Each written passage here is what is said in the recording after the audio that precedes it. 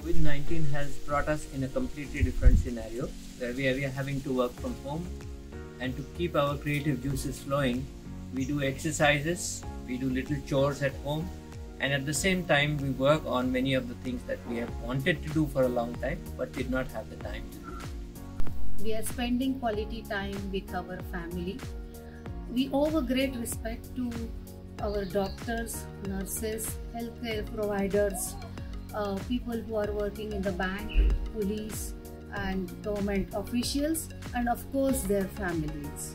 I'm trying to catch up with my long pending list of Marathi writing, uh, Marathi writing articles that I wanted to write. Uh, in 2016, we had taken up a project in Karnataka and visited 10 wonderful heritage sites. I am writing about these lesser known places. The Indian miniature has always been a way of representing reality.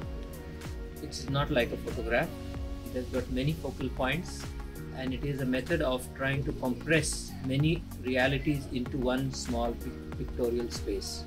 We're using that principle to document some of our works and creating these miniatures which record the instances of the places that we conserved before and after and the changes that have been brought about. Uh, I wanted to try for a Gond tribal art painting for a long time. I'm trying to experiment on that. We could get to spend time with uh, our son and daughter-in-law, you know, having fun to watch them. Like she's trying to bring out her wife material um, when working at home, and our son he responds with husband material.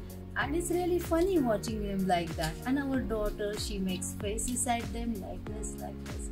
And it's a different experience. We're actually five architects at home. And it is almost like having an office here but the environment is different.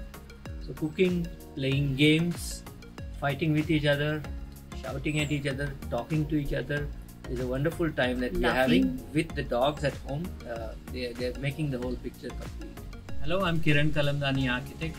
hi i'm anjali kalamdani architect we both are practicing in pune She's Mandakini. We thank India Art, Art and Design for giving us this space. Thank you very much. thank you so much